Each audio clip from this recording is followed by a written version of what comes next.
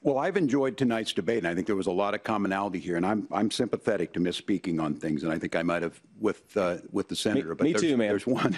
There's one though that this this one is troubling to me, and I say that because I, I think we need to tell the story.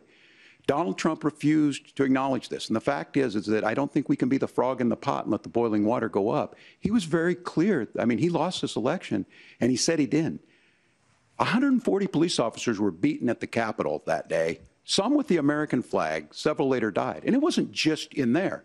In Minnesota, a group gathered on the state capitol grounds in St. Paul and said, We're marching to the governor's residence and there may be casualties. The only person there was my son and his dog, who was rushed out crying by state police. That issue and Mike Pence standing there as they were chanting, Hang Mike Pence. Mike Pence made the right decision. So, Senator, it was adjudicated over and over and over. I worked with kids long enough to know, and I said as a football coach, sometimes you really want to win, but the democracy is bigger than winning an election.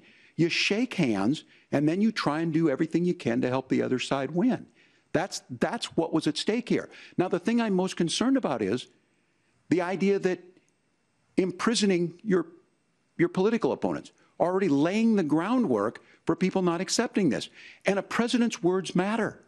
A president's words matter. People hear that. So I think this issue of settling our differences at the ballot box, shaking hands when we lose, being honest about it, but to deny what happened on January 6th, the first time in American history that a president or anyone tried to overturn a fair election and the peaceful transfer of power. And here we are four years later in the same boat. I will tell you this that when this is over, we need to shake hands this election, and the winner needs to be the winner. This has got to stop. It's tearing our country apart.